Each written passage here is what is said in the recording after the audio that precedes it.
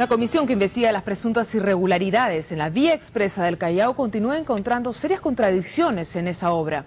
Casetas valorizadas en 150 mil dólares por unidad y la situación de William Antonio Pedro Curi Bumachar como gerente de siete empresas que intervinieron en el proceso llamaron la atención de los legisladores. Edgar Barriga, expresidente de la Comisión de Concesiones de la llamada Vía Expresa del Callao, no supo justificar ante el Grupo de Fiscalización del Congreso el porqué de algunos puntos elementales de este proceso.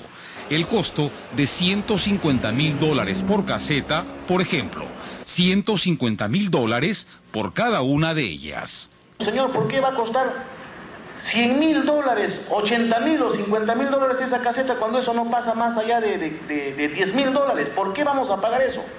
¿Sabe qué nos responden? Así está el contrato, así está el cuadro de valorización aprobado desde un inicio, en otras palabras, aprobado por usted.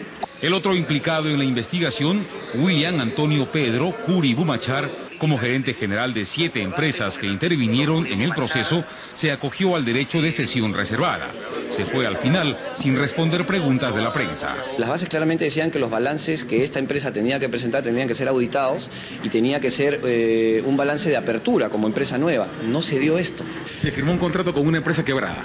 Se firmó, además de ser una empresa quebrada, con una empresa que no cumplía con lo que exigían las bases. Nunca ha estado justificado los 45 millones de dólares que se podían invertir. Entonces, ahí cae un acto de corrupción muy grave. La comisión deberá entregar su informe sobre las denunciadas irregularidades en Convial y determinar responsabilidades dentro de dos semanas.